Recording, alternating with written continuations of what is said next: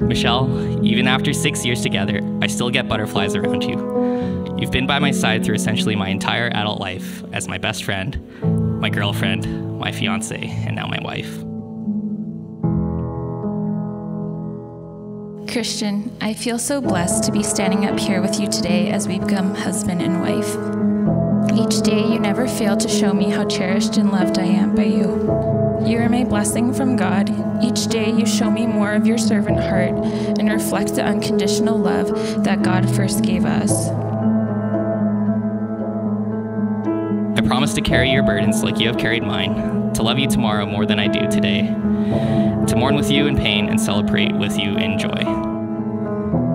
Whatever the future holds, I promise to love you and stand by you.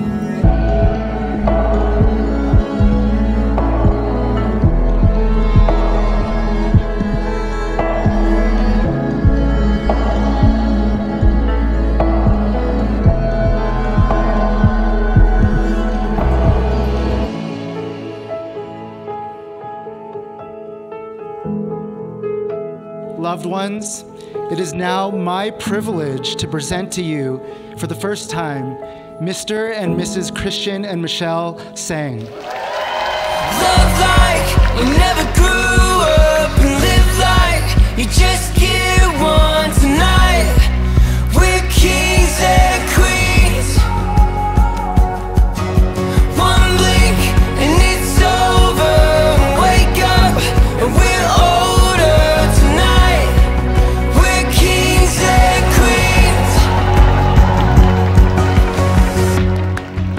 Thank you all for coming to celebrate Michelle and Christian's wedding.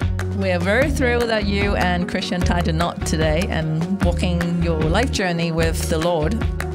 I can't think of a better person than Christian to be your partner for life. You are a beautiful bride, and I am so happy that your dreams are coming true. Welcome to our family. It's been such a joy to have you. Our whole family has grown to be very fond of Christian. He's a thoughtful, easygoing guy who we've seen take really good care of my sister and also goes above and beyond to take care of our family as well. Michelle has met someone who has their fair share of ridiculously hilarious stories. We cannot wait to hear the stories they will have together as a married couple.